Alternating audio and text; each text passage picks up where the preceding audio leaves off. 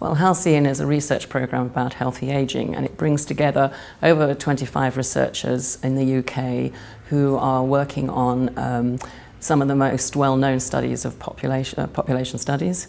And uh, it was set up to complement the um, research that's traditionally done on aging in this country, which is to look at chronic diseases, specific diseases like coronary heart disease, osteoporosis, diabetes, for example. And if you think about it, one of the most striking things about those diseases is that um, age itself is the most important risk factor. The older you get, the more likely you are to get diagnosed with these diseases. So um, there's been growing interest on actually that we should study aging itself, uh, and I mean that in three ways. Um, what are the underlying biological processes of aging that might be common to all these diseases? Uh, how do people uh, function? How does aging affect how people function in their everyday life well before we, these diseases are manifest? And also, why is it that some people maintain their health and function uh, much longer than other people do, and others uh, have an accelerated aging uh, and then are more at risk of disease later on? So the purpose of the Halcyon program is to understand as much about the development of healthy aging as we already know about the development of chronic diseases. And one of the exciting findings in the last 20 years or so about that has been that we've discovered that things that happen to you early in life can really affect um, how, uh, whether you get chronic diseases in later life. So an obvious question to ask is, is that true also for the chances of healthy aging? Does early life experience matter?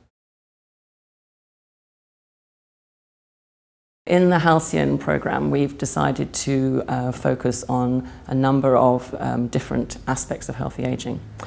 Uh, the first is physical and cognitive capability, and that's the capacity to undertake the physical and mental tasks of daily living.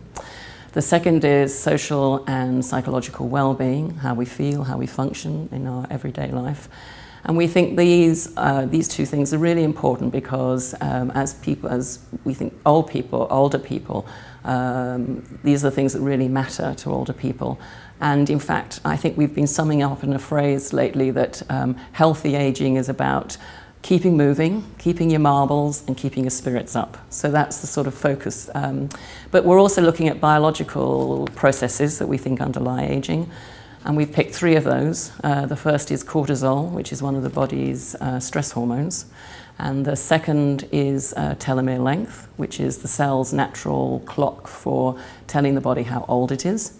And the third are genetic factors that we're aware uh, may well influence how we age.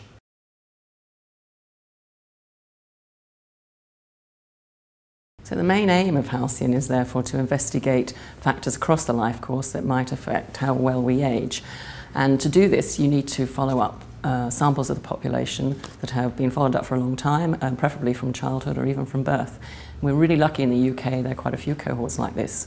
And so one of the novel things about our program is bringing nine of these cohorts together for the first time to study aging. And uh, these are cohorts that have been born. Some of them were born as early as 1921, some of them as late as 1958. So that's great. We cover the whole range of older people from the uh, oldest old right down to the post-war baby boomers.